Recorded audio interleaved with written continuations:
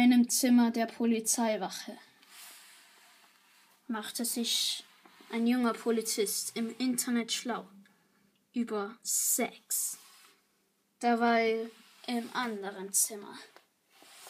Im Bett. Oh nein, es ist besetzt. Mit dem Chef